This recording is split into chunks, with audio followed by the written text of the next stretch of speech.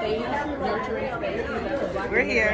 Let's get into this look. You always have a nice sense of style. Um, what, what's, the, what's the inspiration behind that? I was in New York City in my early 20s, and I feel like that city keeps you on your toes.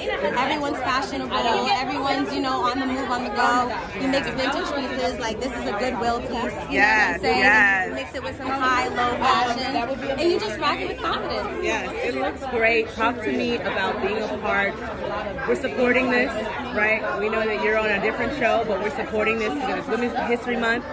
Lena Waithe, Halle Berry, every single episode directed by a woman of color.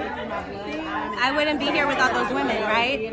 At the end of the day, it's about community and building with ourselves and making sure that we're always here to be visual. Not just saying we're going to be here, but actually physically showing up. Right. Hold up. You know what I'm saying? Pull up. Show that energy and clap it up because this is an incredible moment right now. We thank you for pulling up today and supporting our girl. Now tell me what else do you have working out?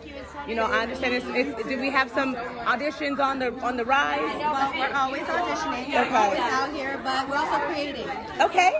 Talk to us about it. Nope, that's it. Ah!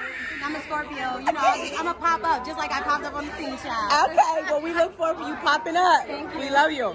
Thanks.